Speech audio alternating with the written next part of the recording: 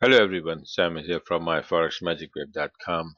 Today, um, Thursday night, Friday about to start. It's um, almost 11:20 p.m. on Thursday night. Today was a very busy day, so I didn't get the chance to make this video earlier. Anyway, so let's get started. Just wanted to show you what's happening in pound yen Elliott wave. Uh, I made a video part one, part two, and there's going to be a part three. okay.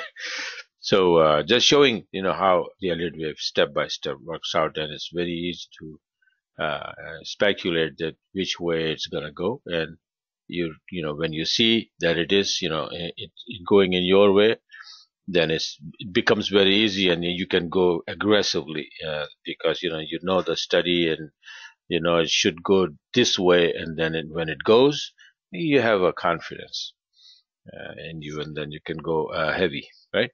And you know, uh, very it, it becomes easy. Everything becomes easy. So let's get started. This one pound yen made this chart 6th March wave one two, and actually when it was going up there, I start trading. Uh, I've been trading, but you know, here from here, I knew that it's gonna go for wave three. So we've been trading for the long side. You you can see the the charts and the trades on my website that. So I, I just want to make a small video. That's. So uh, wave three usually go and stop at 1.618 as uh, you can see from this chart here. Uh, this is uh, this is my thing. Uh, you know, I made these diagrams like an Elliott wave, and then Elliott wave within channel. How Elliott wave goes one, two, three, four, five, making channel, and how it travels. So you can see this wave one, two, and wave three is FE 1.618 of wave 1. So if you notice here, uh, that's what it did, right? Uh, this you see this white uh, dotted line. This is the that fib here, fib two, fib expansion, and then you can see here 1.618. Actually, it should be on this number, but anyway.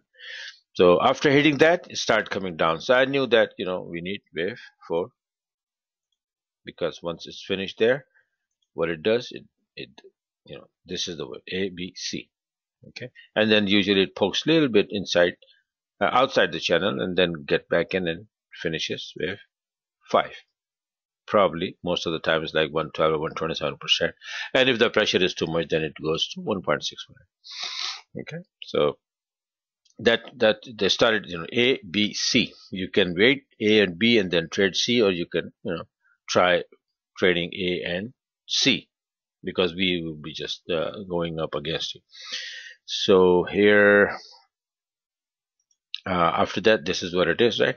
So what happened after that was, uh, let me go back here on this one. It should be, see this one here? Then start coming down and that was my first trade coming down. Nice and clean. Uh, this is a big number. And uh, once you see that, you know, it is uh, hitting that as a support, multi pivot, all that, different things, and then this magic waves, I, magic IB setup here, right? So as soon as you get the setup and the first red candle, poof, going down, and uh, these were also nice entries, but you know I took the one, and that's enough. You go all the way down to a, a pivot or a support. This was you know band of a support and the pivot. So close here, more than 100 pip, fine and dandy. That's what wave one then after that, what happened is that it went up to for wave two and start coming down.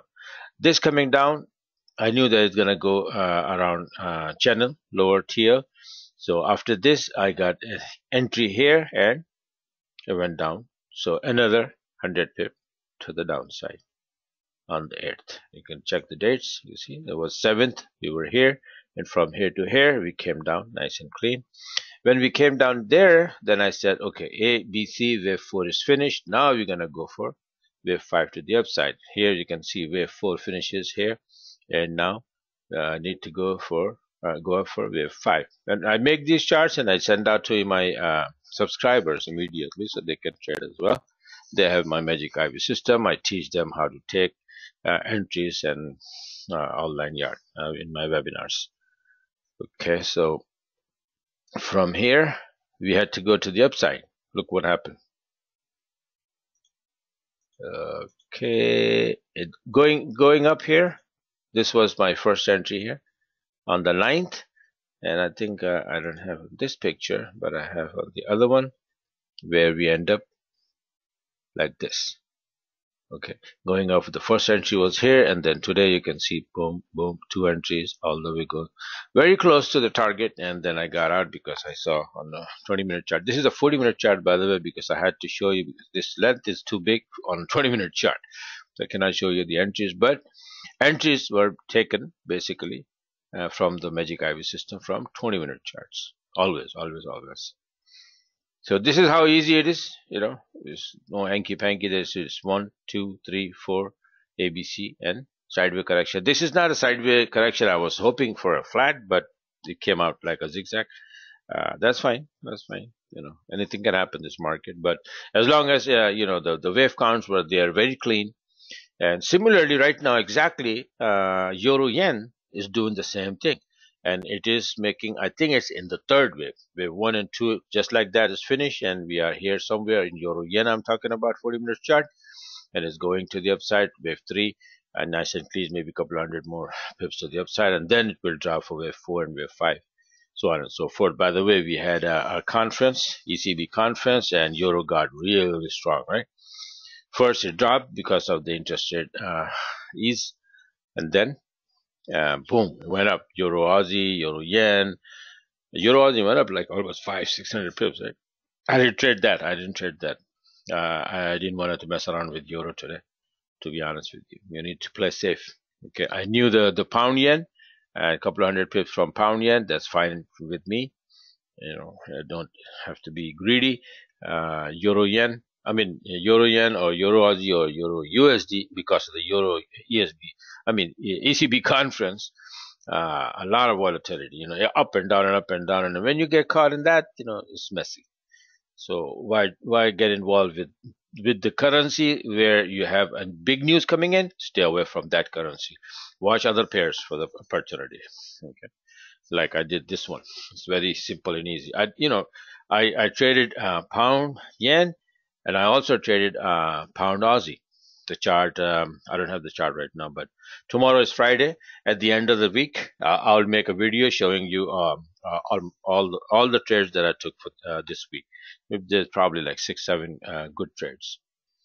Okay, so I had a couple of uh, um, bad trades. Now, bad trade, my bad trades are 25 pip SL, boom, gone okay must. I, in my strategy Magic IB system must be when I open a trade. Uh, for example if I can go back and I show you that you know what happened here. You see this here? Okay this is a setup. I take only these setups. So this one you can take this one you can take this one. When the indicator is all, the, all the way down and then a, a white candle and a blue candle. You can take this one a white candle and a blue candle. You can take this one right? These are so what happened these are uh, each of these candles have a size brick size. So we place the the SL right behind the setup when you take the setup. So if I take the entry it it's here and I place the you know stop right behind it. If it comes and hit that's fine. But you can see here that this one never hit back this one never hit back this was not a setup because this indicator was high this was okay this was a very nice one right so this low never got hit. If you had taken this one, never got hit. So this is the beauty of it. So you have 25 pip SL.